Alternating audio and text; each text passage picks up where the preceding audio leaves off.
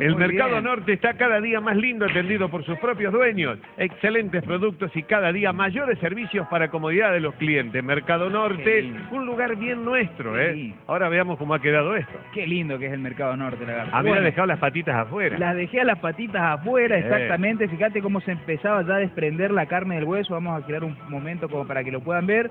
Este es el momento en el que el estofado empieza a estar, ¿eh? Bien. Cuando el cabrito ya está tiernísimo, que se desarma, que se fue disolviendo un poco el colágeno que tiene y eso le va a dar a nuestro estofado realmente una cremosidad y un sabor maravilloso, lagarto. Qué ¿eh? lindo, así que bueno, así queda, no nos queda más que disfrutar a nosotros. Hay ¿eh? que comer ahora, pero bueno, le podemos enseñar a las chicas cómo hacerlo en casa y este, contarles qué ingredientes llevan. Exactamente. Bueno, vamos a necesitar para cuatro personas, por supuesto, un kilo de cabrito, abundante cabrito, ¿eh? dos cebollas, dos papas grandes pueden ser, o bien los papines que utilizamos colorados o andinos, 300 gramos de, ar- de arvejas secas, 150 gramos de pimientos, dos zanahorias y unos 150 gramos de panceta ahumada. Vamos a necesitar también caldo en cantidad necesaria, 100 mililitros de vino blanco, harina en cantidad necesaria, eh, sal y pimienta, comino y aceite a gusto y, fi- y- y aceite en cantidad necesaria, lagarto. ¿eh? Bueno, ¿y con con, eso, eso- ya estamos? Exactamente, con estos ingredientes podemos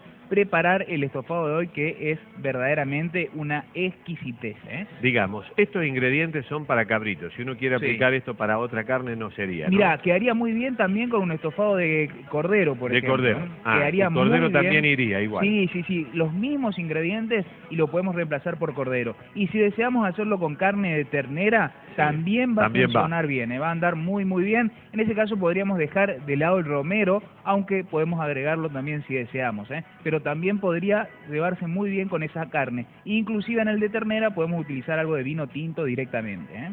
Muy bien, muchas gracias, Dante. Un placer enorme. Muy amable, muy gentil. Hasta